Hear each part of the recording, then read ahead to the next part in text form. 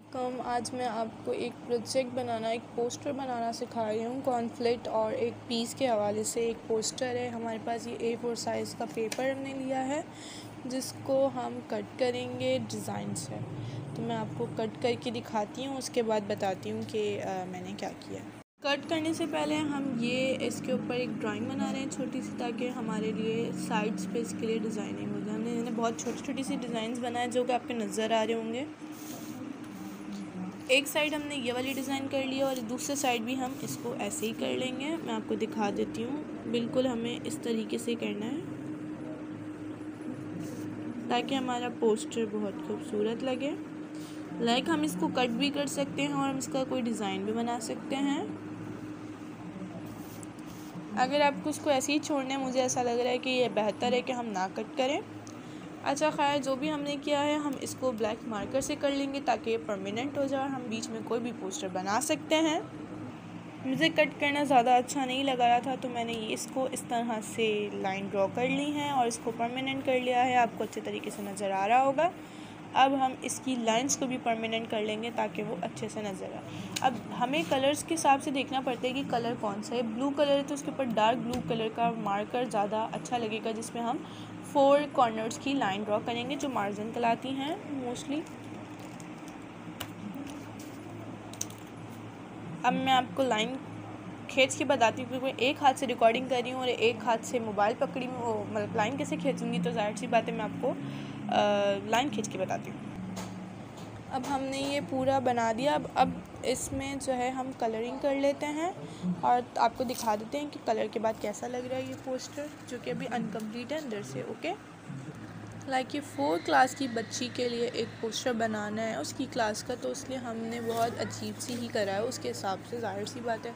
हमने ज़्यादा कुछ नहीं करना, हमने ये इस तरह का हमने बना लिया है। अब नेक्स्ट स्टेप क्या होगा कि हमें कॉन्फ्लेट के बारे में कुछ बनाना है और एक पीस के बारे में। तो हम ऐसा क्या बनाए कि हम कॉन्फ्लेट भी उसमें ज़ाहिर हो रहा हो और एक पीस भी पता चल रहा हो। सही है? तो हमें क्या करना है? इसको आगे मैं आपको बनाकर दिखाती हूँ। वेट करें।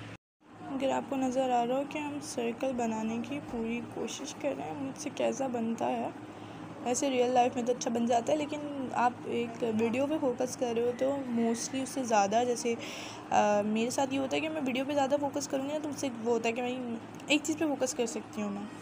लाइक रियल जो पेज होता है उस पर कम कर सकती हूँ या इस तरह। मैं आपको सर्कल बना कर ही दिखा देती हूँ।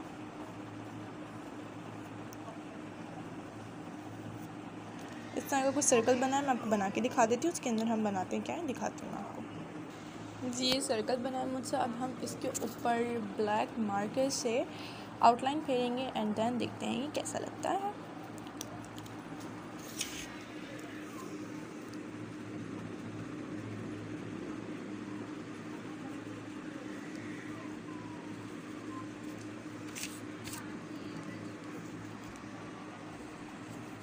एक हाथ से वीडियो बनाना बहुत मुश्किल है और देन आप ज़ाहिर सी बातें, बात समझ सकते हैं।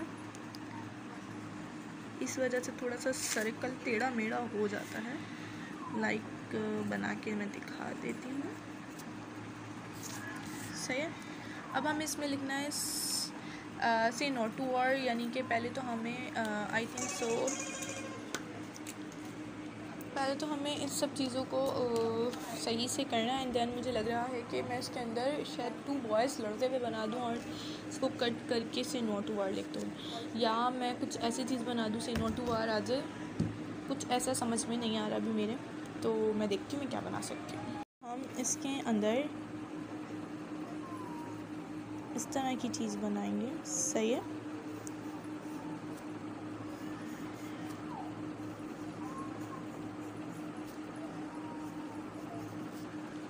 कि आपको अगर नज़र आ रहा हो तो। थोड़ा सा बाहर वगैरह निकल जाता है क्योंकि मैं फोकस कर रही हूँ वीडियो क्वालिटी पे कि भाई वीडियो सही नज़र आ जाए और अब आपको ये चीज़ हो जाए। अब मैं समझ आ रहा है कि मैं एक दो लड़के बना दूँ झगड़ते हुए और से नोटू वार लिख दूँ। या मैं आ, कुछ डिफरेंट बना लूँ। अब मुझे इस बारे में समझ नहीं आ रहा मैं क्या क्या करूँ। आया है धुआँ निकलता हुआ। उसकी तरह।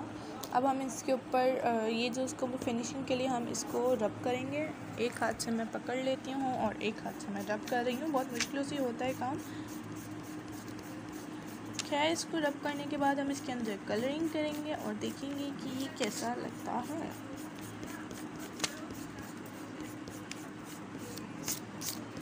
हमने मिटा दिया है रब कर लिया और इसकी थोड़ी सी लुक ऐसी आई है। अब हमें इसको कट करना है। जो कि ब्लू मार्कर से कट करेंगे लाइक एक इस साइड से अगर हम कट करेंगे, या इस साइड से, इस साइड से सही कटेगा। है, और अब हम इसके ऊपर कलर करेंगे, जो कि हम ब्लैक कलर से शेडिंग करेंगे लाइक इस तरह से। आपको नज़र आ रहा होगा, मैंने ब्लैक कलर से यूज़ किया है इसके ऊपर शेडिंग करने के लिए। और बाकी काम मैं जिसका ये प्रोजेक्ट है उसी से करवाऊँगी। अगर वो वीडियो देख रही हैं तो प्लीज़ डोंट माइंड आप ये काम खुद से करेंगी बाकी चीज़ें। यहाँ से पीछे से अपना नाम, पीछे अपना नाम वगैरह लिख सकते हैं और एक ये पोस्टर तैयार हो चुका है। थैंक यू फॉर वॉचिंग अपना और अपने प्यारों का ख्याल रखिएगा। मुझे दुआ में याद रखिएगा। अल्लाह हाफिज़।